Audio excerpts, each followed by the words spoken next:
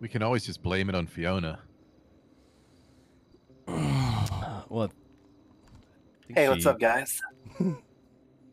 Uh, hello. Hey, didn't see you sneak up there.